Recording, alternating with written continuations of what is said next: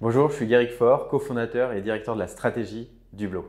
Le rôle de l'équipe stratégie est d'anticiper l'avenir en orientant la trajectoire de la société par l'exploration de nouveaux territoires.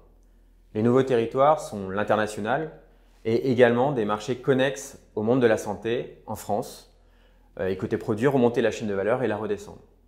Pour ce faire, on va mettre en place des POC, des Proof of Concept, on va analyser le retour euh, de ces expérimentations pour en faire euh, un cahier d'industrialisation qu'ensuite on va passer au reste de l'équipe.